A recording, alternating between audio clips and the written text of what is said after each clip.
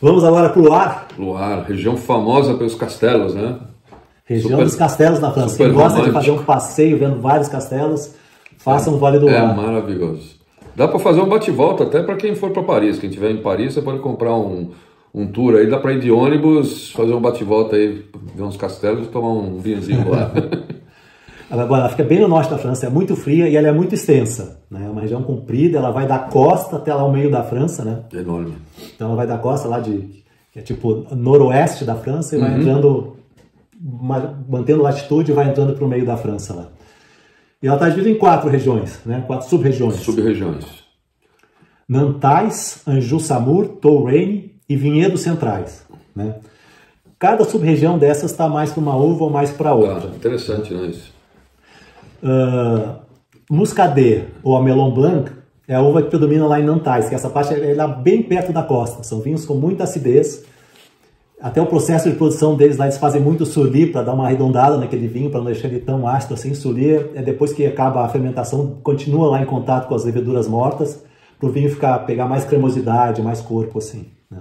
Fica com uma camada de levedura por cima do vinho. Sauvignon Blanc predomina nos vinhedos centrais e Touraine. Touraine? Touraine. Touraine? Touraine. Bom, Sauvignon Blanc do Loire tá, é o Sauvignon Blanc mais conceituado do mundo. Né? É. Então pegar um grande Sauvignon Blanc do Loire, ele é muito valorizado e é um excelente vinho. Né? E... Grande exemplo de Sauvignon Blanc. Chenin Blanc, onde que ela predomina? É, Touraine também e Anjou Samour. Então, Touraine você tem Sauvignon Blanc e Chenin Blanc. Então, a gente falou aqui de três uvas brancas. Né? A uva tinta que mais aparece lá é Cabernet Franc. Né? Também Touraine e Anjou Samour. Né? É, essas duas onde elas aparecem mais. Uh, aqui os vinhos todos vão para essa pegada. Uva muito, a fruta muito fresca, muita acidez, né? Não são aqueles vinhos encorpadões, pesados, né? Então esqueça, não, o Bordeaux é um outro, outra, não tem nada a ver. Pega um Sauvignon Blanc um branco de Bordeaux que predomina a Sauvignon Blanc, vai ser bem diferente desse aqui. Né? Então aqui uma pegada muito mais fresca, aromas mais herbáceos e muita acidez. É, tem a ver com esse clima frio, né, tia? Então aqui, ó, o mapa da França está aqui com o círculo perfeito, onde estão essas regiões que, que pertencem ao Vale do Loire. Então estão aqui as quatro sub-regiões que a gente falou. Tá para cima de... Sendo que ali onde está Sancerre, na verdade, são os vinhedos centrais. Sancerre é uma sub-região dos vinhedos centrais. Né? E aqui tem um mapa mais detalhado, né?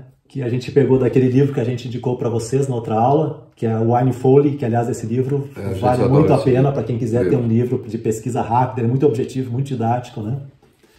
É, então as regiões aí que a gente falou. É, então aqui tá fácil de ver, ó, Nantais, Anjou-Samur, Touraine e os viados centrais, aquele centro ali. Né? Que é mais com que a gente conhece mais, mais pela sub-região que é Sancerre, né? É, Sancerre talvez seja o, a, a sub-região que produz Sauvignon Blanc mais conceituado é do mundo. Você vai achar normalmente Sancerre.